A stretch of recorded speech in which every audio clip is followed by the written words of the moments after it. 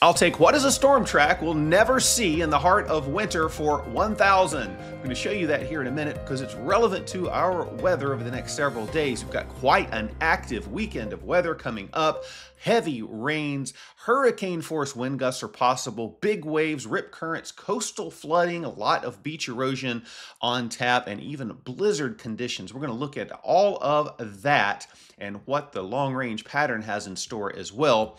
But before we do, I wanted to show you the projected snow cover across the northern hemisphere. We're building that cryosphere and we want to see this snowpack settle in early in the season and get deeper and deeper so that we can watch cold air masses drop across that and not moderate as they enter the United States. Of course, that is from the perspective of a winter weather lover like myself. And so I'm always going to be pulling for winter weather when I have the chance to do so. But I wanted to show you that, just uh, that's what the projections look like over the next couple of weeks. Right now, we're looking at fairly decent growth here of snow cover and ice cover in the northern hemisphere. You can see that here in the white is snow, the yellow is ice. That's where we stand looking at where we are year to date, this red line represents where we are, and we are still in the middle of the pack. I showed this the other day, and we have not deviated. We're running better than last year, but about middle of the pack since 2005, 2006. And you can actually see departure from normal either side. Red is below normal snow cover, and blue is above a normal snow cover. So we're running a little bit behind over here in Canada, but way ahead in Siberia. And a lot of our air masses come across the pole from Siberia. So we want to get that snowpack really deep and cold over there in Siberia. So that's what's going on, folks. Here's a surface map for today back home. We'll show you what the weather looks like. Very, very nice. High pressure and control up here over the Great Lakes into New England, down into much of the southeast through the Tennessee and Ohio Valley. Really not much going on. Just a few scattered showers up here in the northern and western Great Lakes, up north, uh, Lake Superior, back into Wisconsin, into parts of Missouri and Iowa. But the big story is the big heavy rain and flooding potential back into the desert southwest into the Four Corners region when you see rounds of heavy rain through the next several days as tropical moisture. You can see Tropical Storm Priscilla coming into the screen.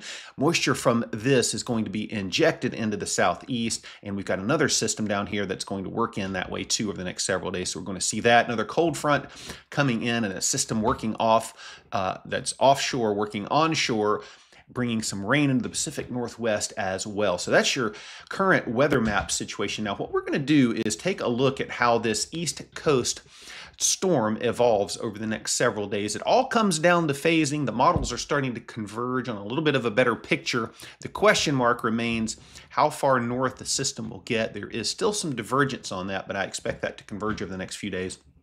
Start here, you got this big shortwave working in through Tennessee. So your storm track's kind of in this direction. Boy, that's something that we don't see in winter, is it? It's usually zipping through this way, coming out of North Texas and then up through the Great Lakes area. But uh, in this case, we've got a shortwave diving down through Tennessee comes in and closes off here over the southeast and another short wave this would normally in the wintertime just go on out to the east but here in the fall look what happens that low that starts to spin up here off the southeast coast, courtesy of this upper level support, will merge over and around the Delmarva region with this other strong shortwave and uh, upper level low diving in and those combined forces you get a big coastal storm and that's what's going on in the upper levels of the atmosphere. This phasing where it takes place and the timing of it will dictate how strong the storm gets and exactly where it goes and uh, all of that. So we've got to watch that. When you have phasing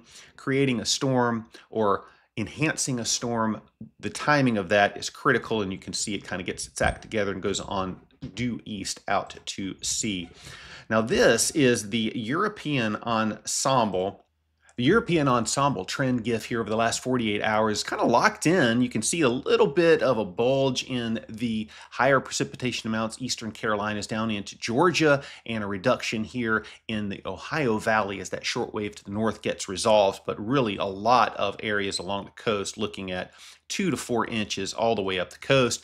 And if the storm system tracks a little farther closer to the coast, a little farther west, we're going to see those amounts kind of bump up. Could see as much as half a foot of rain parts of eastern North Carolina. So pay attention to that. Another big problem with this is going to be coastal erosion and high tide and uh, inundation of the shoreline with flooding and the flow around that high pressure combined with the flow around this low pressure is just going to buffet the shore with strong easterly winds, and we've seen erosion already throughout the summer. We're going to see more of that, and unfortunately, down in South Carolina and parts of North Carolina, we're going to see six to as much as a foot above normal in some of those low-lying areas in terms of the water coming in. So five foot waves on top of that. So really looking for a lot of uh, coastal flooding. If you're driving around out in um, those sections of the eastern Carolinas up into the mid Atlantic, be prepared for coastal flooding, potentially some houses getting flooded and roadways underwater. So you need to really pay attention to that. It's going to be a big hazard here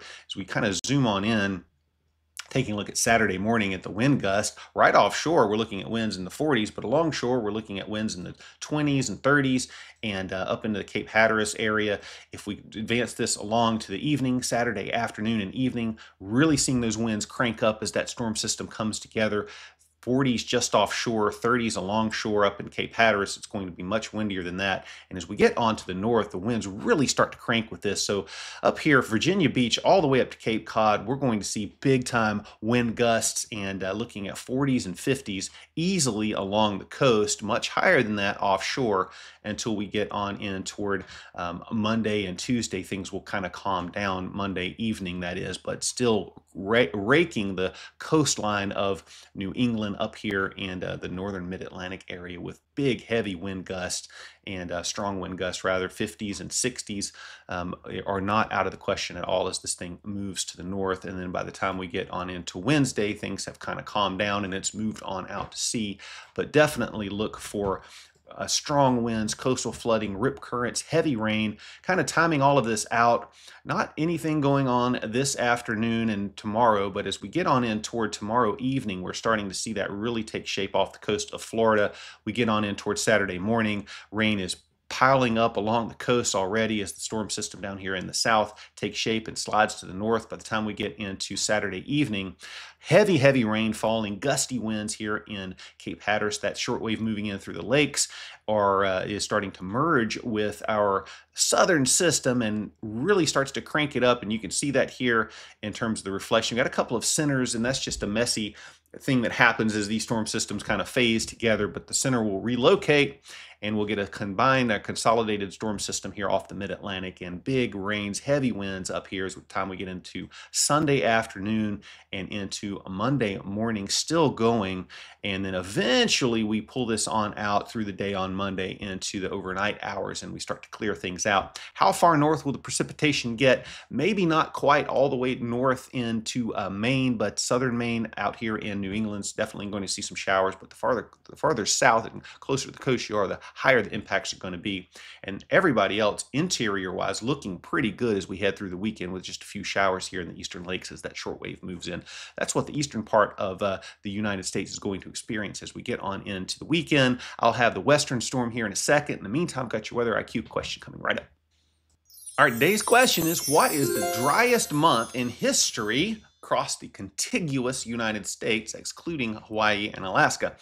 And here are your choices October, February, November, and July. If you know the answer, type in the comments, or if you just want to guess. Otherwise, wait till the end of the show. I'll let you know what it is. Right now, I'm going to show you what's happening out west because got a big storm system out there too as we head through the weekend.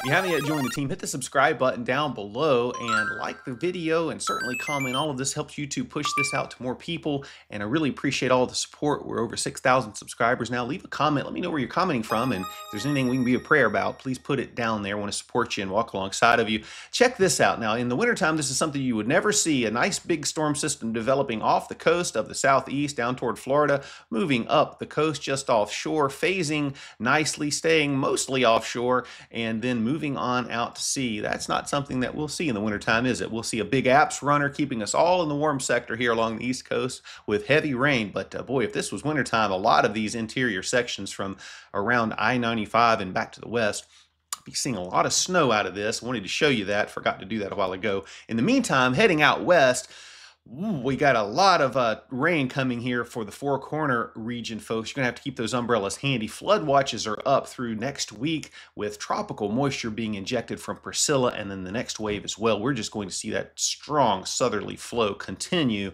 And then we've got another storm system pushing in here to the northwest. And look at this rain this afternoon into Friday. We keep this going into Saturday, raining heavily in the Four Corners region all the way up through Montana as that low pressure works in off the the uh, west coast and comes inland, starts to organize an area of low pressure at the surface here in the plains. That will strengthen, shoot up into Canada, bring Saskatchewan and Manitoba a blizzard up there with strong winds and heavy snowfall and rain just continues in the southern sections of the Four Corners region out here in the desert areas and will see things kind of taper off a bit as we head on in toward Monday, but another storm system moves in to the Pacific Northwest. We've got a very, very, very active pattern here, folks. A lot of energy in the flow, looking at one to two inches, maybe even more than that, of a rain through Monday morning for much of the interior sections of the uh, north uh, or the western portion of the country here through the Rockies, Four Corners region up into Montana, and then over in the Cascades and the Valley sections toward the coast as well. Going to see lots of rain out there too, half an inch to as much as an inch and a half out there. And as far as snowfall goes, higher peaks are going to pick up quite a bit of snow, looking at maybe one to two feet, plus some of the prairies may see that uh, rain turned to snow as cold air works in on the backside of that storm and catches up to the precipitation that's falling. So that is your western storm forecast. Going to be very active out west as well. Now we're going to take a look at the temperatures over the next couple of days. Highs today working up into the 80s, back into the plains, very much above normal as that ridge just uh, continues to persist here. Big trough out west, pumping in that southerly flow, going to keep you warm. Trough in the northeast, keeping us cool up here, not even going to get out of the 40s. That's much more like normal conditions for you all up here, probably even a little bit below, but uh, down here in the south where cold rain lives, going to be a spectacular fall day. Mostly clear skies with temperatures in the 70s and then warm in the interior northwest. That will continue tomorrow in much the same fashion. Highs in the 60s for parts of North Carolina. Can't get any better than that this time of year. Warming up a little bit in the northeast and cooling off a little bit in the northwest northwest, still warm in the central portion of the country. Saturday, same regime, just a little bit warmer here in the east, a little bit cooler out west. And Sunday, going to see that storm start to take shape and pull in some cooler air. So look for temperatures to decline up here in the northwest and uh, surge ahead in the plains and be about the same here in the northeast down into the southeast too as that storm system is really cranking up here and starting to bring in some of those northerly winds. Looking at low temperatures, going to be very, very chilly overnight tonight as you wake up tomorrow. Watch those plants. Freeze warnings and frost advisories for much of the northeast with temperatures well below freezing into the 20s, even teens, 30s and 40s coming down all the way into the mountains of North Carolina, back into the Ohio Valley and cool across the northern border up here in the northern plains. Not quite as cold tomorrow, but still many areas will be below freezing in the northeast, but warming up a little bit there, cooling off in the northern plains and back in, in the Midwest and back to the uh, west as well as that storm system pulls away. It's going to drag in lots of cold air down behind it, so you're going to wake up to some chilly readings on the old thermometer on Sunday morning and cooling off back into the northeast as well and staying above normal in the central plains. And that is your forecast. We're going to take a look at the long range really quick and then wrap up with space weather and the answer that IQ question coming right up.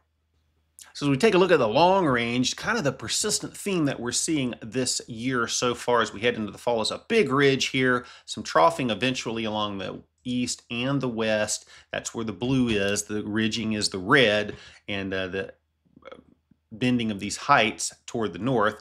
And watch this as we go on out through the weekend into next week. You can see that ridge still poking up here in the center portion of the country with that storm system in the east and the storm system in the west, keeping us cooler than normal and unsettled in those areas of the country. We get on out into toward the middle of next week. Big storm system keeping it cool and unsettled still out west, but that ridge is right in the middle of the country. That shuts the Gulf off too, by the way. We get that northwesterly flow you don't get moisture transport out of the Gulf, so we don't see big rain events along the east coast. But we will have several short waves kind of diving over the apex of this ridge in Canada into the northeast, keeping you cool there, and wedging down the east of the Apps will keep us at least toward normal uh, on balance, but uh, middle of the country looking to stay much, much above normal as we get on out through 10 days. As a matter of fact, if you take a look here at the cooler and warmer anomaly map, this is the cooler than normal in the blues and purples, warmer in the reds and oranges. And you can see where, as we get on into Sunday and uh, into Monday, much warmer than normal here in the middle of the country. We've been cool in the east, but we'll start to warm up a bit, cool out west as northwesterly flow and another system works in out there. We get on into the middle part of next week, another trough works into the northeast, keeping us cooling us back down and maybe wedging back down to the upper southeast, but warm again here in the central plains. You can just see those reds just bake the central plains relative to normal. And of course, over in the west, another system working in there too. Looking at the actual official six to 10 day forecast, shows you just what I showed you. Big signal for warm here in the central portion of the country. Over in the east, near normal to maybe slightly below in some areas, but the big signal for below out west with Alaska and Hawaii above. And precipitation on balance is going to be much above here in the west with these consistent storm uh, in pieces of energy, storms and pieces of energy in the flow moving in through the west, keeping us moist out here. Very dry with the Gulf shut off here in the southeast, particularly up into the Ohio Valley, and we'll see a few of those short waves move out of Canada, bringing some rain to the northeast where you need it. need rain out here as well, but it's good to see that you are all getting some rain out here in the west, Alaska and Hawaii both above normal. Expected to be anyway. That's the 6 to 10 day period, October the 14th through the 18th. We're going to wrap things up with space weather and the answer to today's weather IQ question. Do a quick flyby on space and geological weather today. Not much to talk about except for this big coronal hole. There it is. You can see that very, very well here on the disk. That is toward us. We'll see solar wind increase and probably some higher bars on the KP as we move out in time. No big solar flares coming from sunspots because there aren't very many complex sunspots. There's only four on the disk and they are turning away. There's actually fifth one there, but uh, nothing big coming in just yet. So we'll keep our eyes on it. In the meantime, just a few small shakes, no big big earthquake or volcanic activity that we need to worry about. And the moon is 91.9%. It's actually coming up very uh, a, a, little bit later now, so I can see it come up above the horizon. It was big and orange last night, which is great. I like to see that. And then the new moon is October the 22nd, folks. And that wraps us up for today, with the exception of one small detail, and that is the answer to today's weather IQ question. What is the driest month in history across the contiguous U.S., October, February? Uh, November or July, which month would you expect to have been the driest one in history? And it, it's actually October of 1952. The average precipitation that month was 0.54 inches with a where the normal should be 2 inches across the entire United States. Now you know the driest month in history was 1952 in October. Also back on October the 9th, 1876, way, way, way back, the first two way long distance telephone call was made by Alexander Graham Bell. He talked to his friend, colleague Thomas Watson talking over a two mile wire between Cambridge and Boston, Massachusetts. And now you know the weather and a little bit about history as well. Hope you've enjoyed the show today, folks. I've enjoyed being here with you. Hope you have a wonderful, wonderful day. Be back tomorrow with another episode of Cold Rain's Weather World. You can follow me on X at Real Cold Rain. As always, have a blessed day. God bless you and keep you, and I hope you have a wonderful afternoon. Take care, everybody.